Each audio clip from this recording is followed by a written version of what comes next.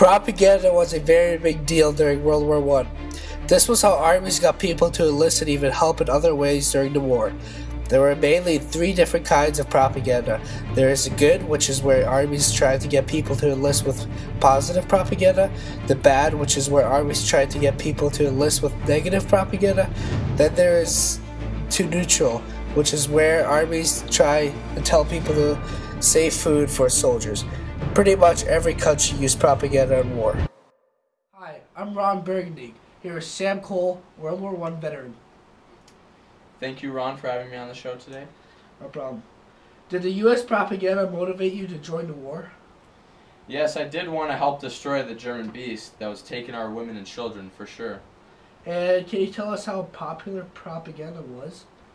Propaganda was on every wall and street corner. I mean, I always saw it all over the place, and propaganda motiv motivated a lot of people to join and help the war. America. Uncle Sam wants American men to join the U.S. Army. Uncle Sam was like the face of America back then and still is today. Women were also a big part in the war. They would work in the factories making ammunition and they would also send the troops food. This is an example of negative propaganda. The picture is showing a German beast take an American woman, and the only way to stop him is by enlisting in the army. Dein Vaterland ist in Gefahr, melde dich. This means that your fatherland is in danger that you should notice yourself. The Germans thought of their land as the best land out of all the countries and it had the best culture. This means we're going to teach you how to run. Germany is referring to scaring the other countries so bad that they run away from fighting.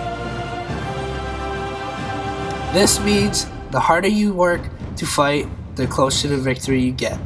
The Germans wanted to push their soldiers like every other army to defeat the opposing enemy. The picture was mainly for people already enlisted but could have persuaded others to enlist.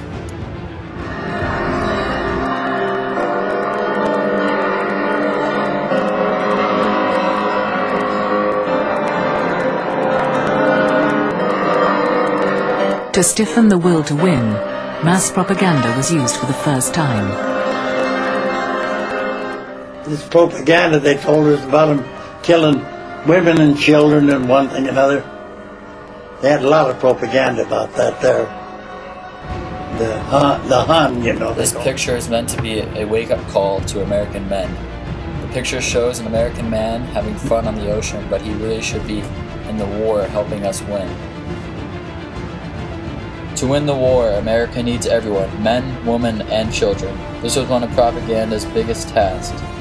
These pictures needed to motivate people to help the war in any way that they could. One of the biggest issues during the war was food for soldiers, so they even had a form of propaganda to get people to try and save food for the soldiers. The soldiers wanted people to at least save them food since they are risking their lives for them.